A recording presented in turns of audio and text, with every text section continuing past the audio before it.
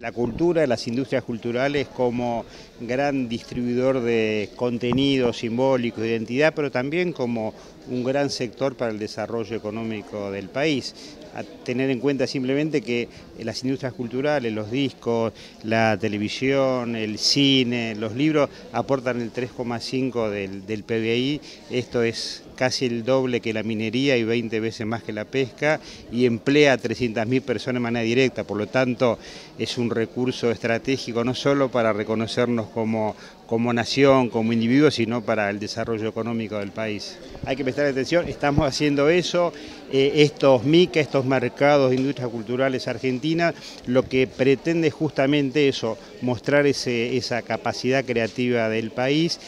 el año pasado lo hicimos a nivel nacional, este año recorremos las seis regiones culturales del país, vamos a estar eh, en la provincia de Buenos Aires entre el 23 y el 25 de agosto, como ya estuvimos en Formosa por el NEA, en Tucumán por el NOA, dentro de unos días en Córdoba por el centro, y luego estaremos en Cuyo y en Patagonia recorriendo todo el país y estimulando la producción de las industrias culturales. Trabajó, se trabaja y se trabajará en conjunto entre la provincia de Buenos Aires y la Secretaría de Cultura de la Nación para estos eventos. Es la única manera, lo venimos haciendo desde el primer momento. Nosotros pensamos que la Nación y la provincia, especialmente por la importancia de la provincia, lo que nos pidió siempre el gobernador, de estar al lado, en mi caso, del secretario de Cultura,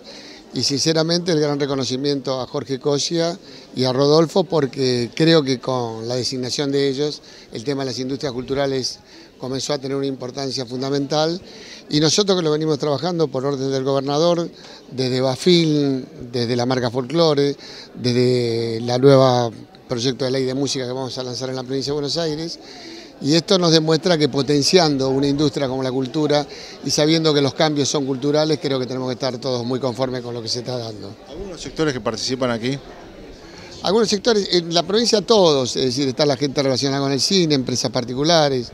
está la gente del teatro, está la gente de diseño, un papel fundamental que cumple la, provincia de Buenos Aires tiene una característica especial, que hay 19 universidades nacionales que están rigadas ahí y nosotros trabajamos mucho en conjunto con los intendentes, con los secretarios de Cultura, así que creo que esto es un trabajo de todos que puede potenciar algo que ya viene desarrollándose, pero cuando se hace a nivel nacional y a nivel internacional es cuando uno coloca a la provincia de Buenos Aires no solamente en la escena nacional, sino internacional y también traerlo internacional acá, ¿no? de ahí como la importancia que tienen los festivales de cine que realizamos todos los años.